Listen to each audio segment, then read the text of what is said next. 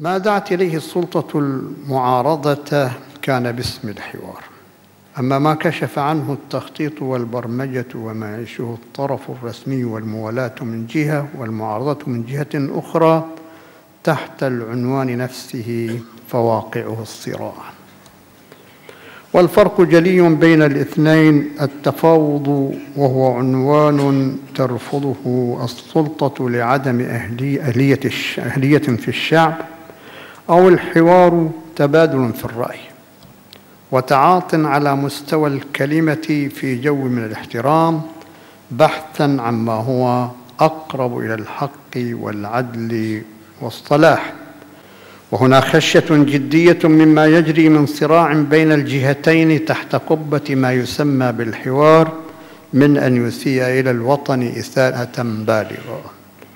ويزيد في درجة الالتهاب ويفاقم من الأزمة بدل أن يؤدي إلى إنهائها أو تخفيفها بما يؤدي إليه من مستوى الإثارة والشحن والاحتقان ويفعله من تأجيج روح الفرقة والتمزق والبغضاء والعداوة.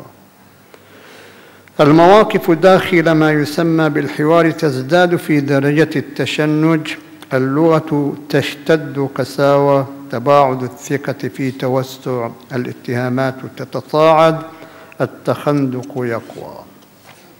وكل ذلك يغذي الساحة العامة للوطن بما يلهب أجواءها ويقضي على فرص اللقاء والحل ويساعد ويباعد بين الوطن وبين شاطئ الأمان الذي يحتاجه الكل الذي يحتاجه كله وكل من فيه وما فيه من شيء يجب الحفاظ عليه.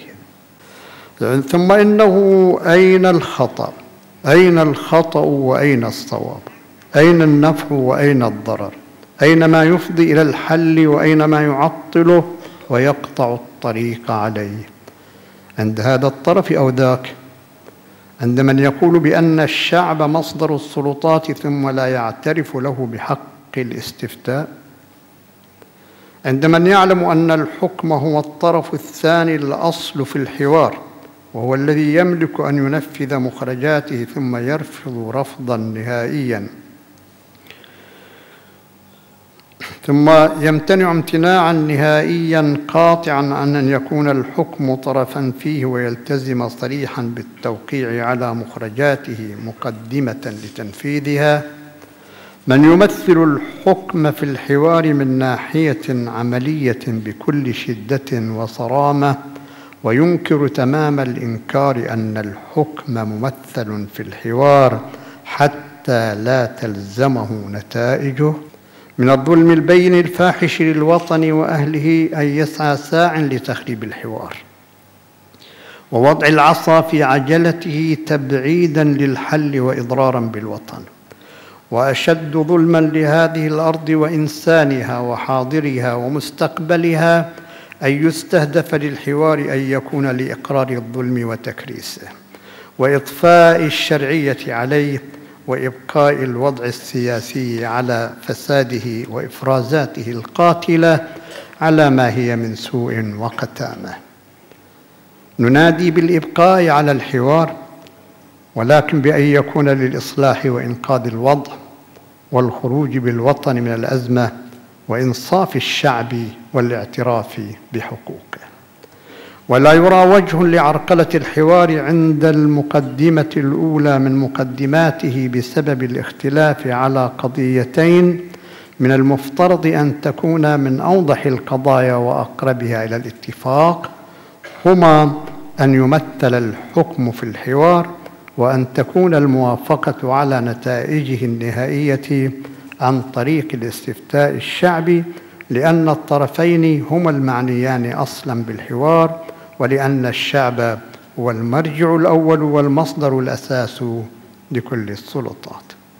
ولماذا رفض الاستفتاء؟ ألأنه ليس من حق الشعب.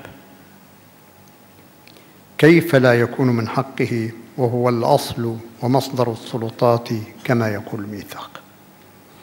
ثم إن الجمعيات المعارضة والتي تشترك في الحوار لن تسمح لنفسها أن تعطي موافقتها على نتائج تعرف مسبقا أنها مرفوضة من الشعب.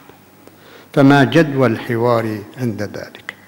الصحيح لخير الوطن وخير أهله أن يأخذ الحوار مجراه بلا عرقلات متعمدة كالوقوف في وجه تمثيل الحكم والاستفتاء الشعبي وأن ينتهي إلى النتائج المرضية شعبية وعلى حد استحقاقات المرحلة لتربح كل الأطراف من حالة لتريح كل الأطراف من حالة الاستنزاف والخسائر المستمرة المتصاعدة على أكثر من صعيد وتكفل وتكفل للوطن أمنه واستقراره وتقدمه.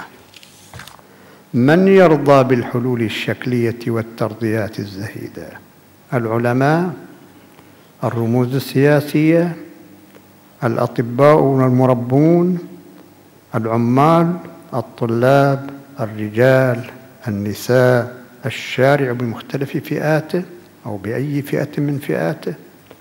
الكل يصر على الحل الجدي المنقذ من الأزمة بحق وعلى استرداد الحقوق والتمتع بالحرية والعزة والكرامة والكل يستذوق المحنة على مرارتها من أجل هذا الهدف.